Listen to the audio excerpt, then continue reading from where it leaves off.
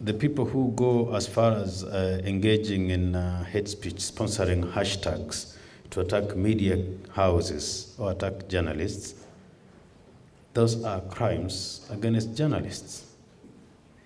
The people who move around and look for funding or collect money in the name of coming to help journalists, and they do not help journalists eventually, those are crimes against journalists.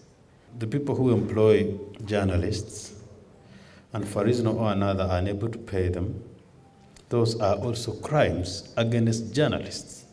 So that if we are really discussing the entire issue about protecting journalists, is about people who know but that by their actions or inactions are making the work of journalism difficult. The problem of uh, letting impunity against journalists or against those who speak what you are not comfortable with proceed is that then the society gets sucked in impunity generally.